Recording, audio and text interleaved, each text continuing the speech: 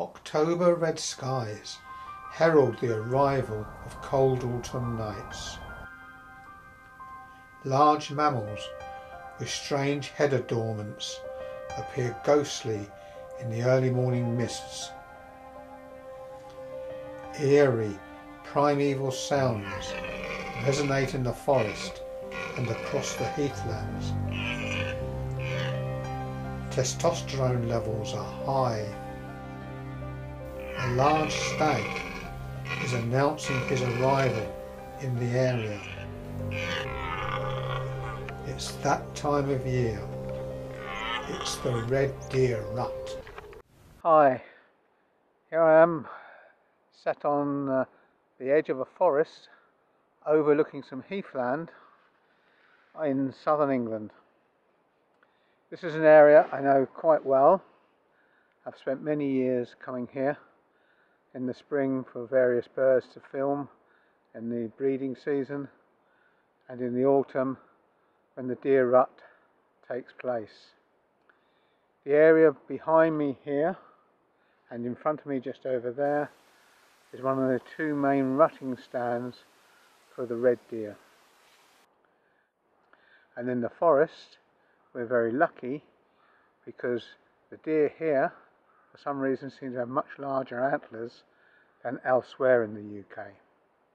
I'm sat here waiting because if the big stags get their timing right and I get my timing right and I'm out here at the correct time of day, hopefully I can film a rut fight.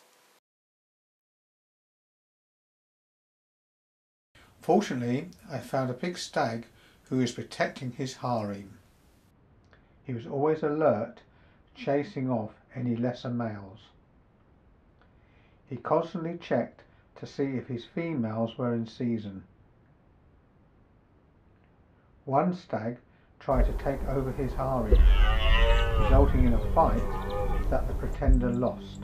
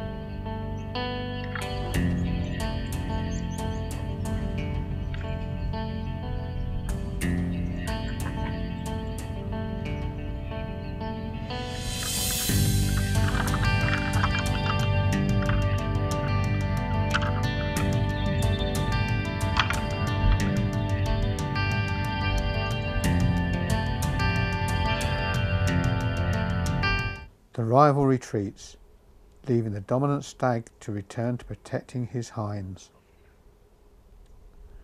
With the rival seen off, his hinds safely gathered around him, it's time for some well-earned rest until another stag, a pretender, tries his luck.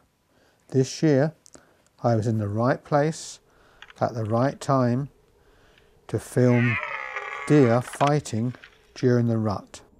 The deer and I timed it right.